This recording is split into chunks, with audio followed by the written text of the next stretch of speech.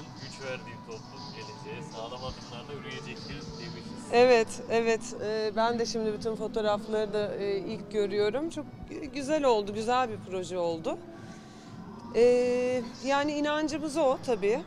Ee, ülkede ve dünyada e, ama özellikle bizim ülkemizde yaşanan e, şeyler çok tabii can sıkıcı. Hepimizi e, öfkelendiriyor, ara ara üzüyor, canımız sıkılıyor. Biraz daha işte e, farkında olabilirsek bir şeylere, bir şeylerde farkındalık yaratabilirsek e, ve ona inanıyorum. Yani e, hani eşitlik diyoruz, kadın erkek eşitliği ama e, kadının da evet güçlü olması aslında tüm toplum adına e, faydalı.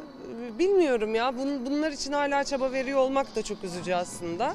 Son dönemde sosyal medyada birçok e, oyuncu arkadaşımız olsun, sanatçılar olsun taciz mesajları işte artık ilerleyen seviyelere kadar e, tacizlerle uğradı. Sizin var mı böyle saplantıda hayranlarınız gelen Yok, mesajlar? yok, yok, hayır. E, olay. E, gelmedi ama gelebilir her an. Bir de e, yani sürekli o tetikte ve e, huzursuz bir kadın olarak aslında bir birey olarak da e, yaşamak aslında çok ürkütücü. Yani evet benim benim başıma öyle bir şey gelmedi ama e, hani gittiğim yere, saate, çevreme, e, arkamı, önümü kollar oluyorum ister istemez. Özellikle kadın olunca. Çok böyle dikkate alıyor musunuz sosyal medyada size yapılan yorumlara, eleştirilere? Yok. Yok yani ben sosyal medyada çok vakit de harcamıyorum açıkçası. Ee, çok orada yaşamadığım için ee, hani arada paylaşımlar yapıyorum. Güzel mesajları görüyorum. Onun dışında yani olumlusu da olumsuzu da ee, benim için orası çok ee, gerçek bir dünya değil çünkü. Şimdi konu Instagram'dan açılmışken Hülya Avşar'ın bir sözü vardı. Çok fazla böyle Instagram'da vakit geçiren erkekle evlenilmez falan diye sizin. Nedir bu sosyal medya Öyle mi ve demiş? telefona bakış açınız?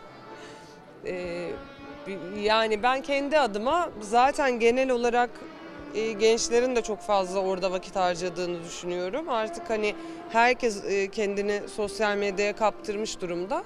E, bu hani erkek kadın değil, e, her her birey bence birazcık daha uzak durmalı diye düşünüyorum. Ya bilmiyorum bana çok hem zaman kaybı geliyor hem çok ilgimi çekmiyor.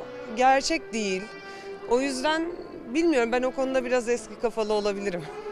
Oyunculara da mesela takipçi sayısına göre bazı senaryolar geliyor de- de- deniliyor. Yapımcılar onu ön plana. Siz ne, Ee, nasıl düşünüyorsunuz? Yani olabilir öyle e, tercih edenler de belki vardır. E, ama öyle bakmayan da var. Bilmiyorum ki. Yani çok değerli, e, severek izlenen ya da değerli işte müzisyenler, oyuncular. Hani bu insanların milyonlar takipçisi yok.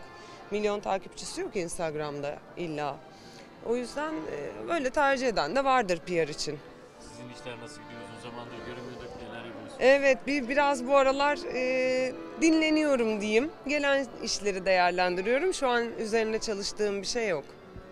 Televizyonun yanı sıra müziğe dair de birçok şey yapıyordunuz siz. Var mı Evet bununla alakalı aklımda. gelişmeler? Evet evet yani kendi çalışmalarım var şu an ama yakın zamanda size paylaşabileceğim e, şudur e, şu an diyemiyorum. Ufak ufak bir single albüm falan gelecek. Evet evet evet. Peki var mı Şimdi böyle dizi yokken bir biraz Yapmak istediğiniz veya biriyle ortak bir çalışma yok. var gibi oldu ama var ama yok gibi oldu. Yok bakalım. Peki teşekkürler. Teşekkürler. Çok Teşekkür ederim.